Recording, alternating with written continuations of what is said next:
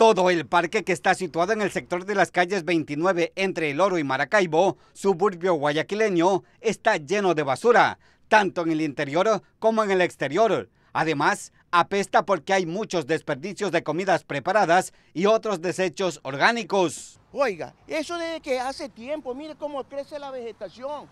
Aquí no tenemos un parque que se pueda llamar, ¿sabe qué? Oiga, voy a visitar, voy a ir con mi esposa a darme una vuelta, ya es la tercera edad, vamos a caminar afuera. Es una porquería.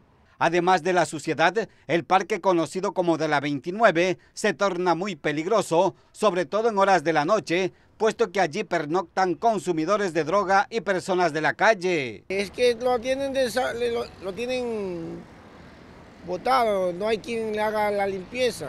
Los habitantes del sector están preocupados porque dentro del parque hay una iglesia. Además, muy cerca está un mercado municipal de donde también arrojan desperdicios. Yo trabajo en el mercado y vendo pescado.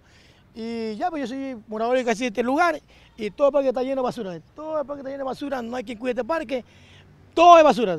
Mire, vea. Esto parece más chamba que un parque de niños. Los afectados esperan que limpien el parque de la 29 lo más pronto posible porque los olores son insoportables. También piden que haya más presencia policial en la zona para mejorar la seguridad de todo el vecindario. Leonardo Flores,